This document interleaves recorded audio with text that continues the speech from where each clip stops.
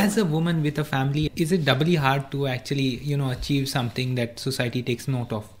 As a woman with a family, I have three sons. Uh, they all are spanning a sort of six year period. There are one or two things that I would like to say. Marriage and family was also something that I gave my full commitment to. In fact, I think it is because I was in Valpoi for five years. Two of my children were born at that time, and I didn't have a job outside the home. I was cut out from society, so to speak. But in my mind, what is the best that I can get out of the situation I am in? And putting myself in that frame of mind, I find that you can enjoy something that you never knew existed. What can you enjoy in a rural place which has got is far from civilization and which is away from everything else? Well, I enjoyed my two children right up till the age of three years. Two of them were mm-hmm. three years. I had full devotion to them and I spent all my time looking after the children and I never saw it as a drawback. I never saw it as a handicap that I was cut out from jobs. I saw it as something that I would never get again. I would never experience birth of children, they don't come to you at the age of 55 and 60, whereas jobs will always come at that time.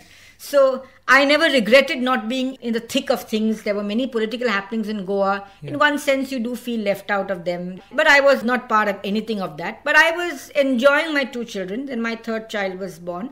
And I took a kind of 10 year hiatus, you can say, from being involved in public life. Mm-hmm. Right from 77, when I got married, till 87, when I got back into law. I was doing things. I was looking at environment. I was understanding the situation. I was also understanding Goa because I was new to Goa. I was a Bombay girl. Bombay people have their own ideas of what happens in Goa. And I was learning things anew. But the important thing is that I was appreciating it and I was not regretting that, oh, if I was in Bombay, I could do this. I was not looking at it that way. I was enjoying the moment. And I am always feel satisfied that I think I gave my children the right amount of attention and their needs. And I enjoyed every moment. There were no pressures of work, like the kind of lifestyle I lead today, where I'm busy and sometimes very uh, come home late. I never had that situation when the children were growing up till they sort of started going to school. And it's only when I came back into public circulation, you can say maybe around 88, 89, and then from 90 onwards, I was sort of much more involved. As a woman, yes, you have double duties, no doubt, because you have children. You feel very responsible if uh, the the food on the table is less than adequate according to your standards. If you know you have forgotten to get fish, or you have you know there's no fruit in the house, or things like that you feel bad if you cannot attend every function that you're that you're supposed to attend for your children their school functions and so on you got to uh, work a little harder. Whereas for the man in the house the father he's not obliged to attend everything or he's not obliged to see to all home things. So it is difficult. It's a little bit more demanding. But i think i kept my the demands on of uh, my professional life on my personal life i kept them low in the beginning. And it's only now, maybe over the last uh, 10 years, mm-hmm. that the children are grown up. They are independent now. Of course, they are. Uh, they, my youngest is 21, so they are all on their own, and they the last thing that they want is me meddling in their affairs. But um, over the last 10 years, because I had kept my work uh, at a lower pace at that time, I had something to do. So my work could blossom as the boys needed us less and there was a very equable relationship in the family. We would explain things and so on.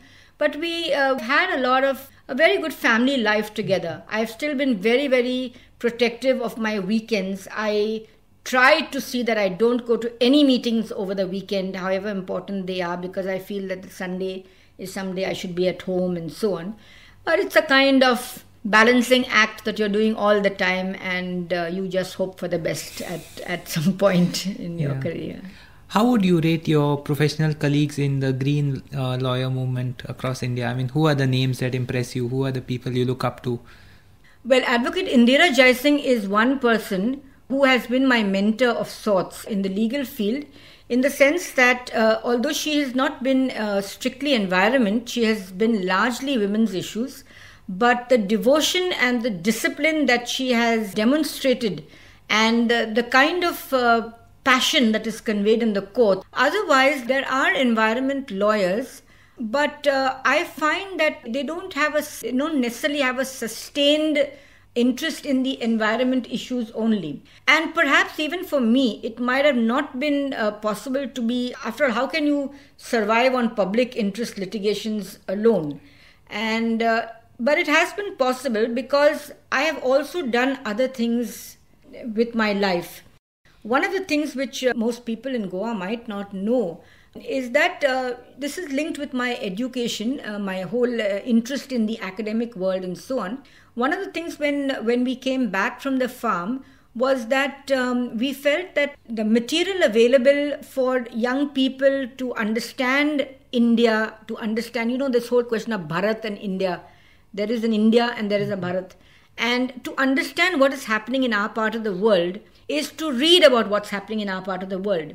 And uh, together with a few like-minded friends, we set up an NGO called, which was called the Other India Bookstore. And this, the idea of this bookstore was, it's an NGO society. It was to bring under one roof all the kind of material on environment, on public issues, which is generated by NGOs across the country to bring under one roof material generated in our part of the world that is all your southeast asia mm-hmm. latin america africa and so on so that people have access to that information. It has an amazing collection as of, of now. Yeah the amazing thing about it is that when we started out we started out with one negative which is that we will not keep things which came from the already dominated first world. Now nobody thought an idea like this would succeed mm-hmm. because uh, how do you survive how do you run a bookstore if you don't keep z publications if you don't keep oxford if you don't keep yeah. the mainstream yeah. that's what people ask for but we were not setting up a bookstore in order to make money we could have mm-hmm. sold shoes or potatoes or something else instead yeah. we were selling an idea we wanted people to access an idea how would you make an idea available to the whole country from goa so we set up a mail order bookstore. Yeah. This is being creative. We wanted to reach the entire country from this little place called Goa, which nobody considers as an intellectual yeah. book place. Yeah, you consider. Bombay, Delhi, Chennai, you know, places like that. And it works in that sense as of now. It worked because through the mail order, we were able to network with people all over India mm-hmm. and we were able to sell a unique product, which is that in this store, you were getting the wealth of environment literature. It was our strong point anyway. We also concentrated on issues like health, like uh, social issues, uh, you know, women's issues and so on, but not women's issues so much because there were many women NGOs yeah, and yeah. Uh, bookshops, also. But environment was our strong point, organic farming, things like that. So the wealth of material we had to source from many uh, mm-hmm. situations. How do you know what's published in Chennai? You yeah. would not know. Or in a remote village in Nashik. How do you know? So we sourced the material and we made it possible for somebody in Dehradun to order a book produced by an NGO in, let us say, Pune. Because through the other India bookstore, they could write to us and we would package and we would deliver. And again, here I brought a professional commitment to it, which is that we ensured that the standards would match any what you could call corporate sector. I our see. packing is excellent, our delivery is excellent, and so on. There, I am a trustee of the bookstore. We run that, ensuring I look at all the legal aspects involved with this bookstore because you got to negotiate, con- uh, you know, across countries if you're yeah. importing books. What are the terms that you work out, and so on. I do all this for this society, and in that sense, I've done this, which is completely different from my legal career totally different. It's it's got nothing to do with what i argue. But if you look at myself as a personality there is a wholeness in yeah. this whole thing. It's connected in a way. it's connected.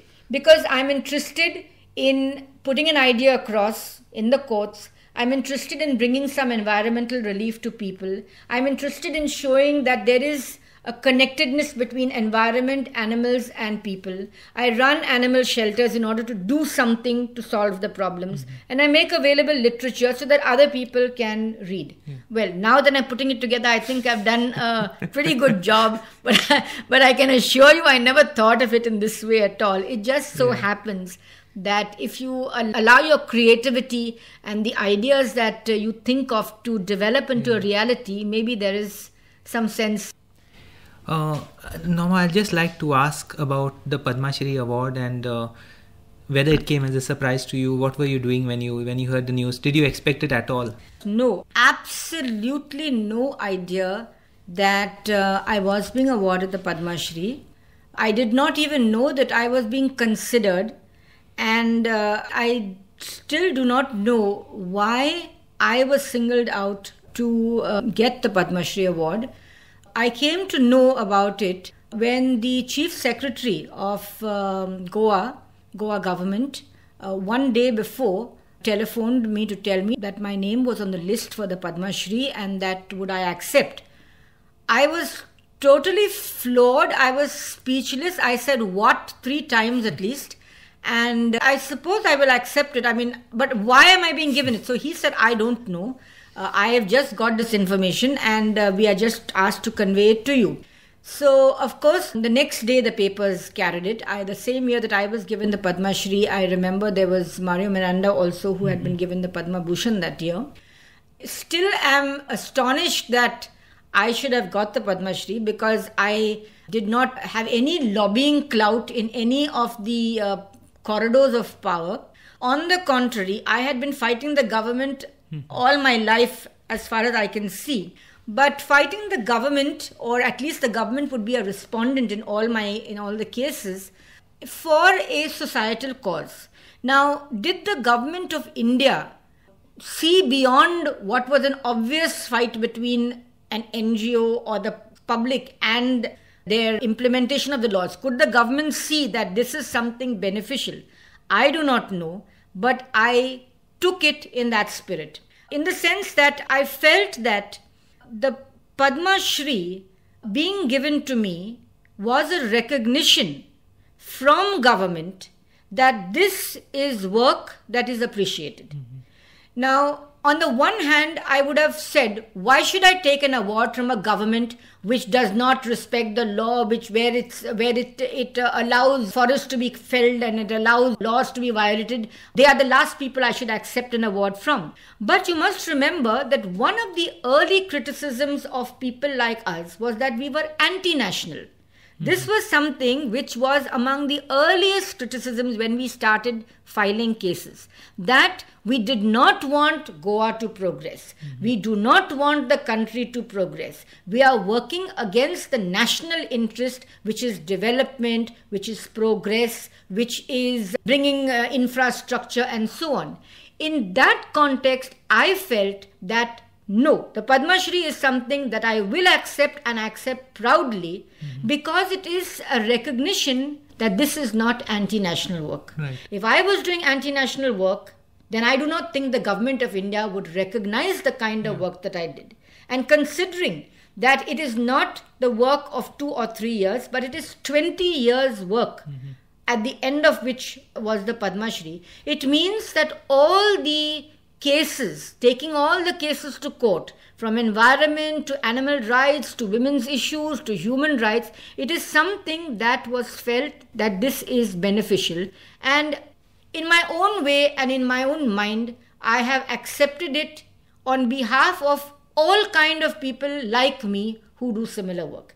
If I was asked, there was no speeches that had to be made at the Padma Shri. Mm-hmm. It was one, incidentally, a wonderful ceremony. I, I must tell you that it was a beautifully arranged ceremony. And I never knew that the government of India could be such an excellent host because they looked after myself, my husband, and I took my father, who was 90 years old at that time. Today he's 94. I, I, took him to Delhi because we were allowed to take two okay. persons. And there was such excellent treatment of us as guests of the government of India that I thought if the government of India can look after somebody in such an exceptional manner, it means that we can do things good when we want to. The ceremony was beautiful. We had to only, of course, receive the award, smile, and take the award. But if I had to make a speech and uh, say something about uh, my reaction to the award, then I would have said that I take this award on behalf of people across the country like me poor people, indigenous people, farmers, peasants, students, activists who have decided that they will fight for something that is good for the society. Mm-hmm. And it's a recognition that when you fight, when you use whatever means, either the courts or any other means, to legitimately see that certain principles in society, certain laws are followed and are adhered to, then it is something which is good for the country and this award is recognition of that they say life it. is what's happening when you're making other plans but what are your plans for the future like you know if, if you have 20 or 30 uh, years i mean i mean it's it's tiring to think of that but sometimes you don't think and it just happens if you had a blank slate and you could choose whatever you wanted to do what would really I, I don't know. Sometimes I'm, I'm a little bit too pragmatic. I think that I don't dream that much, and maybe you need to be a dreamer for these things. But um, I do believe that you don't need to stay in one career forever. You know, just because you are a good lawyer, it doesn't mean that there is nothing else that you ought to do with yourself, and you know that uh, that is it, and you can't move on. Well, I, I have not planned for anything further in the future, but at some point I do want to retire from environment uh, cases because they do get tiring. You do have to spend a lot of time in the courts pursuing a particular problem. And sometimes I feel that you get relief insofar as one particular case is concerned, but then your vision is to try and translate it into larger areas. Like yesterday, for example, you could say that I achieved something by getting the dump site closed. It is a garbage problem. But when I look at it in terms of the whole situation, what have I achieved? okay, some people have got relief because that garbage site is closed down. But has the problem disappeared? No. Mm-hmm. The problem is going to come up somewhere else. So, how is that an achievement? In what sense does it become an achievement? Unless the lessons are learned elsewhere. And that, unfortunately, you cannot achieve in a court. I find that you cannot achieve because judges change. Mm-hmm different judges come they have no idea of another of the past case. They don't have an idea that there are 10 other cases of a similar nature. They look at a particular case they give justice in that and they go. So how do you translate the lessons of one which you know because you are fighting 10 cases of a similar nature but every time a judge takes one issue how do you take the coastal violation regulations in one case and make sure it's not repeated in 10 others mm-hmm. or 50 others that is something which the legal system is not able to i'm not i feel i'm not able to achieve in the legal system. Indirectly yes maybe officers realize that oh you cannot violate the forest conservation act. Oh you cannot violate the crz notification. Oh you cannot do garbage you have to follow the msw rules. But at a practical level they get away with 90 out of the 100 cases. 10 you catch 90 go. So if you look at the odds if you look at uh, the pressures on them, they think, all right, 10 are gone, bad luck. 90 we can get away with. We don't have to break our heads over this. And that is something which I think I have to find a way of seeing how we can get this done at a larger level.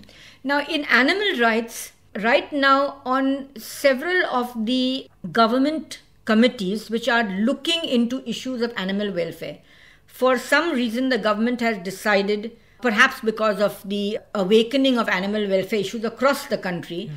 They are looking at issues like experimentation on animals, looking at issues like framing of rules for uh, circuses, zoos, parks. How do we ensure that our natural life, Project Tiger, all these things.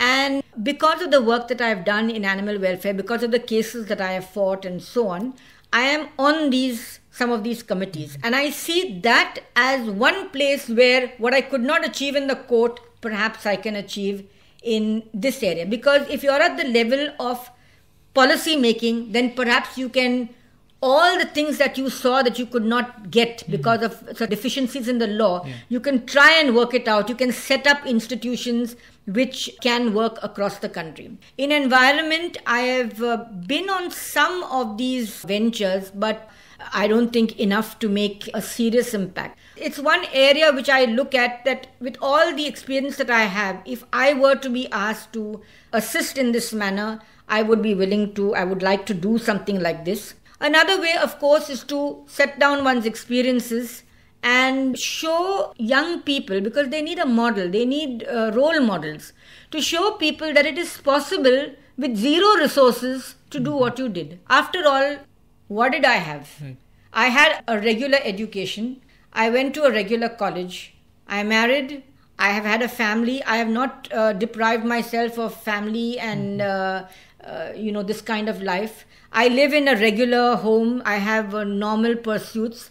I have seen that uh, my wants are kept under control. I do not have ambitions and grand desires for personal uh, life, but I'm comfortable. But, I'm not. But above all, also a whole lot of intellectual capital and and uh, more importantly, the motivation to do something. I think yes. Uh, these two are crucial. These two, and to show how it is possible within the system to work it. Yeah.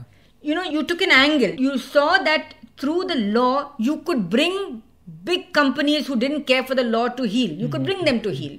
You could ensure that coastal areas are protected. Till today, people always say to me, were it not for your cases on CRZ, the whole coast would have gone. Yeah. At least we have protected something. Mm-hmm. We have made sure people know about it. We have seen that areas which were deforested are put back. We have yeah. got something. We have lost some cases, no doubt. But at least we have shown that it is possible. But it requires dedication, it requires uh, paying attention, it requires sustenance. Mm-hmm. That is another thing when you were asking me about colleagues. I find that people take up uh, environment case and then they disappear again. It's easy to get demoralized, I guess. Yes, or, or. perhaps it's easy to get demoralized. Perhaps you find it not enough time. But over a period of time, if you handle it, then you understand the nuances of the law. Mm-hmm. Because in the end, in courts, you are also having to explain to the judge what is the philosophy behind it. I remember explaining just uh, two weeks ago, I was arguing this case on you know, I was talking about the rent backs in Calangute right. and why is the CRZ notification limiting, restricting people uh, houses in the coastal areas?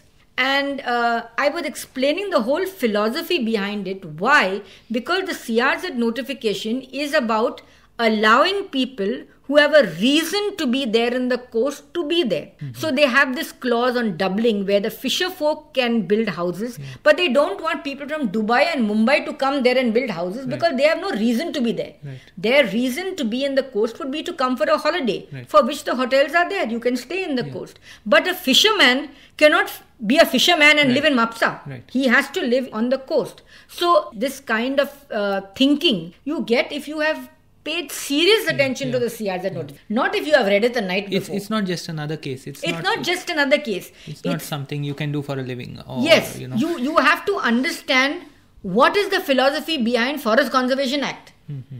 You have to understand that a forest is not something that you and I, with all our technology, can create because right. forest is, a, is an intermix of a particular kind of crop, shrubs, growth, right. whatever, which creates a system where birds will inhabit, where brooks will spring up. Right. It's not planting 100 trees.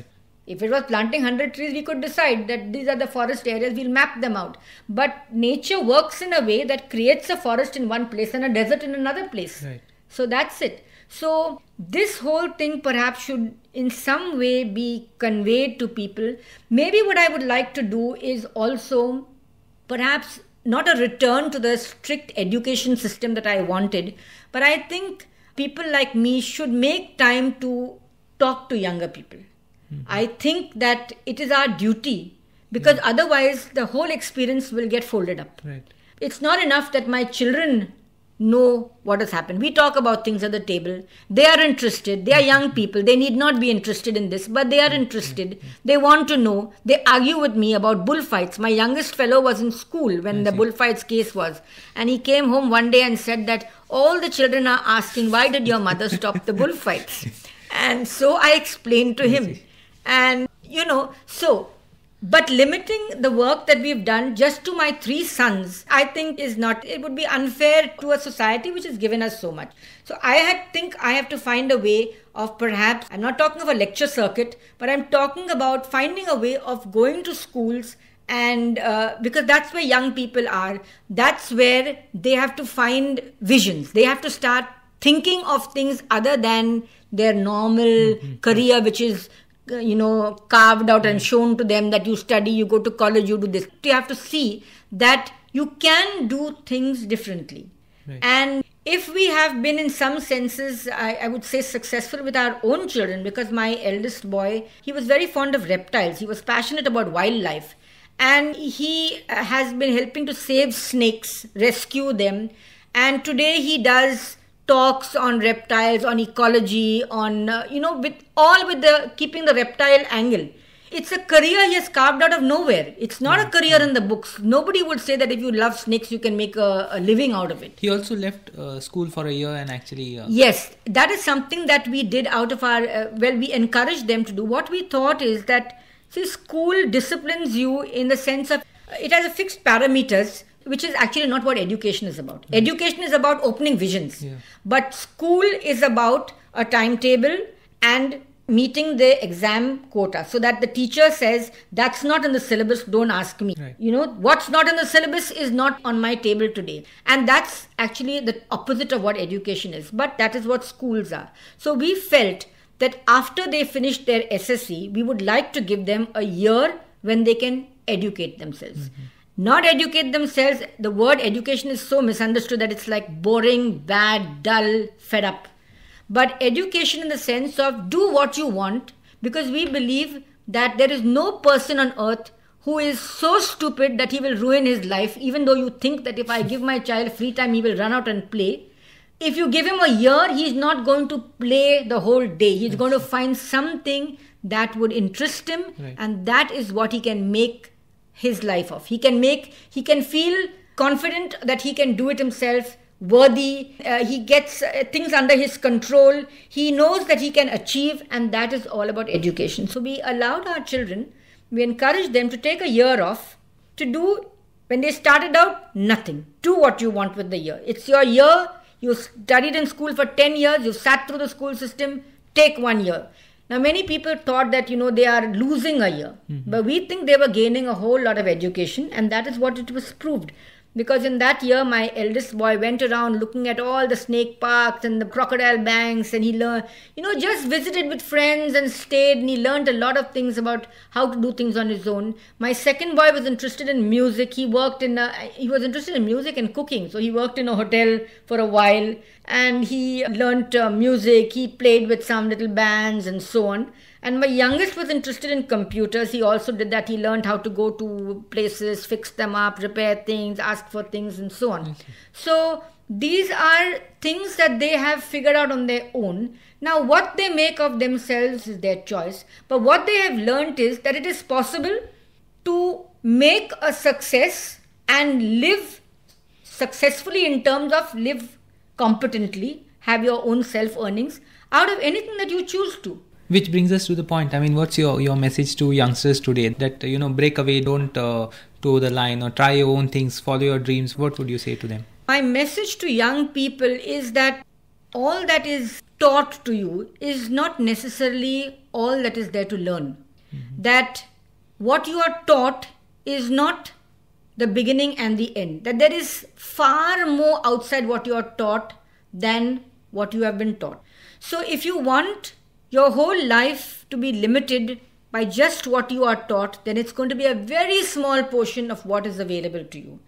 But what is outside that is something that might interest you, it's something that might never interest you. But at least you have to know that it doesn't interest you. And if you don't know that it doesn't interest you, how would you know? Right. So, my uh, message is to them is that try and find a way to find out what else is there outside and see impassionately or without being prejudiced by the fact that that is not what you're taught in school, whether that is something which interests you, whether that is something which appeals to you, I don't know what is the correct word, you know, which, um, as you said, gives you a high. Mm-hmm. It's something which you can respond to, which you are passionate about, and then see how you can make that work for you. Because suppose it is something like drawing. Now, somebody would say, How can you make a career out of drawing?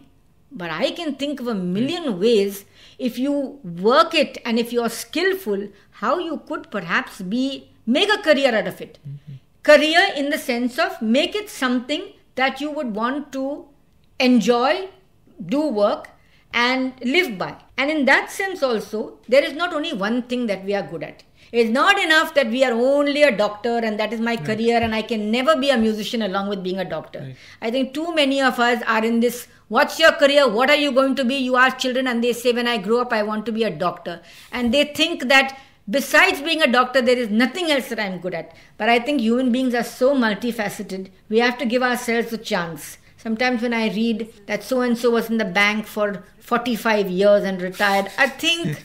Why? Why didn't he try something else for some time? I mean, hmm. unless the security, job security was an issue. But why would you spend all 45 years of your working life just doing the same thing? Why not try if you can be a footballer, if you can be a whatever? And job else. security is less and less of a challenge nowadays in any yeah, case. Yeah, nowadays I think the it's open. But I think nowadays also youngsters are not looking at things as uh, what will I do for the next 25 years. I don't think they are hmm. doing that anymore. They are looking at very short term goals. But uh, what I find is that sometimes you don't find this social sense in youngsters, you see. Mm-hmm. I think uh, in some senses, perhaps uh, what I am, what people of my generation, some of us became, is because there was an idealism. The 70s, I think, were a flowering period at that time yeah. when social sense, social spirit, idealism was at an all time high yeah. in the youth. And it's not just me. I look at some of my colleagues who may not be as well known, but in their own ways, they still retain that spirit of 69, you know, right. that sense that there is something out there which we have to go beyond yeah. you know we cannot just become successful businessmen and we cannot just become successful things whereas nowadays sometimes when you read the papers i don't know if they give a good idea or they reflect accurately society but when you read uh, magazines and so on you find that students are so ambitious at this age of 19 about how much money they can make and uh, you right. know these dreams of a house a car two trips abroad. These are these are so materialistic. Mm-hmm. They are not things that uh, you can really enjoy your life because they get jaded after some yeah. time. How many visits abroad will you make? I'm tired of those kind of things. This is a premature question, but uh, when you're gone, how would you like people to remember you? I mean, that's a long way away, but still. You never know how long away these uh, these questions are, and it's like asking me to write an obituary, is it? Well, I would like to be remembered as um, somebody who fought passionately for the causes mm-hmm. that I believed in. And I believed in a variety of causes. I believed in the protection of environment, in a holistic perception of environment. I believed that women are equal to men in society and that women must not be deprived of their rights and they must be given a chance. I don't say that the work has to be equally divided. I believe that there has to be a give and take on these matters in a family. I believe that children have to be allowed, have to be given children to have that freedom, that fun, uh, that freedom from responsibilities, that uh, time when of their life when they can really enjoy themselves and soak in indirectly all that's happening around. These are some of the causes that I have passionately believed in and that I have passionately fought to achieve. And uh, I don't want, uh, it's not a question of remembering what, how successful I was or uh, whether I was a good lawyer in the courts or whatever. But it's the, it's the fact that I gave uh, to any cause that I took up, I gave every ounce of whatever I had at my disposal, put it into it so I can at least say that I put my best in. If I can convey this, or, or if this is conveyed, then I would be sort of which probably brings us to the issue of the relationship of the government and the NGOs. You know, very often it's antagonistic, as you said, anti-national, seen as the foreign hand. What would you see as the you know proper kind of relationship between these two? Government has unfortunately had a very hostile relationship with most NGOs. They consider NGOs to be busybodies and they consider that NGOs slow down their work, that NGOs go on picking holes in all kinds of their plans and their ideas. And there's a very bad relationship, poor relationship between government and NGOs. But ideally, I think that NGOs have pay attention to the details of several aspects of the law. They have access to a lot of uh, scientific and technical and non technical data. They also access people whom these laws impact upon. Mm-hmm. And an ideal relationship would be for the government to listen to what NGOs can contribute and to make laws which uh, would impact in a positive manner on society.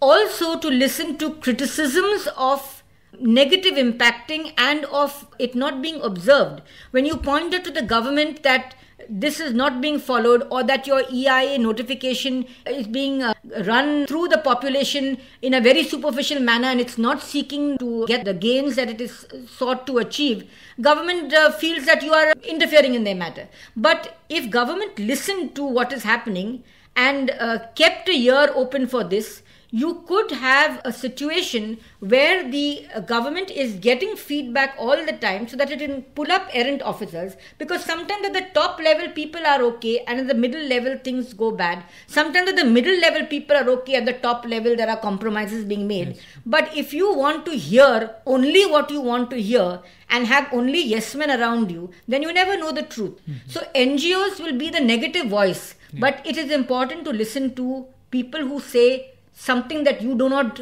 accept because when they say something that you do not know, you can change, you can improve, and you can make your own system work much better instead of waiting for the house to catch fire and then hunting for the fire tender to put it out.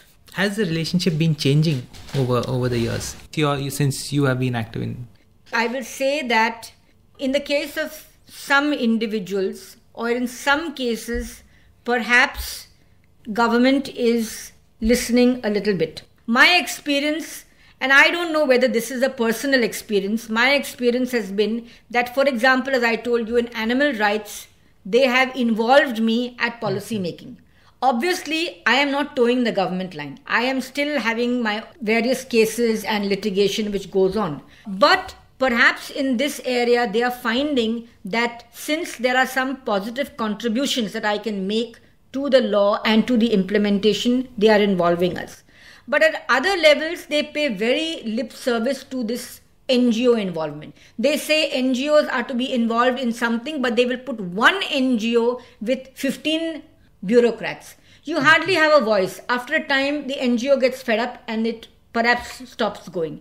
Take the coastal authority which they have set up across the country. There were NGOs in it. Today, they have decided no NGOs. They have decided only professionals will be there. And professionals means people from institutions. Now, these are people who do not want to rock the boat necessarily. Now, I don't find that government is really involving NGOs. Lip service to NGOs is being paid because on most of the documents you will find that involve an NGO. Mm-hmm. But in reality, I think that government doesn't want NGOs. I think that they feel that NGOs ask too many inconvenient questions and they have to be accountable to too many things and they don't want to be accountable. They'd rather keep this as the closed door policies. But NGOs make things very transparent because mm. they attend meetings and they take information and publicize it. Yeah. So that is what government doesn't want. And I don't think really that there is a better relationship today between NGOs and government at all. The last question, maybe that I need to ask here is that if you had a chance to start all over again, what would you have done differently? Difficult to say because I am a little of a pragmatic person. I do not have regrets. I do not believe in regrets. Maybe a few small odds and ends here and there, but I think I have had a wonderful life. It's been full of very rich experiences Although, when I, as a young child, I had one ambition, only one ambition, which was to teach. I had no other ambition. I eventually taught in school and a college. I then went on to do research work for a while. I then went and lived on a farm and I actually grew vegetables. I know how to milk a cow. You know that? I learned to milk cattle. I can diagnose some cattle illnesses. I know to feed animals. I uh, had three children. Three boys are, are born. I then went on to study law. I became a lawyer. I ran a bookshop, which is an NGO, but it is commercially viable proposition. I work with an NGO with this kind of varied experience and you know life things that I've done in my life. I don't know what other things that I would like to have done. But one thing that I did not manage to pursue was that I was a, a musically talented person. And as uh, in college and as a young person, and as many friends in Bombay will tell you that I mean, if uh, if I had to ask, they knew me for singing, I see. and it is something that in Goa nobody knows. I don't know today if I can sing. I've talked so much in the courts that maybe my voice is gone but it is one aspect of my life which I have unfortunately let die down. But uh, music is in my blood. I like a true Goan. My father was a musician, my grandfather was a musician. It's something that I'm passionate about. Maybe that's one thing that I will do in the years ahead. Take up a music career. I don't know in what manner, but here's here's wishing you all the best, and I hope that you know all this gets captured in some way, and maybe you come out with a book of all your experiences so that you can go on yeah, to inspire. I'm others. sure. I'm sure that's the last thing that I really owe to uh, to young people that they can mm-hmm. read about not about what I've done or not about what we've done, but about how it is possible to do it. And what, you, what you've tried also maybe. Yes, what we have tried, what things have not worked, where they have not mm-hmm. worked, but more important, not to even replicate, but to see that it is possible to step out of the line and do something. It's possible. It is eminently possible without having a godfather, without having political patronage, without having tons of money. It's possible to do something which is not in the rule book. That's the lesson we'll take home for today. Thanks a lot. Thank you.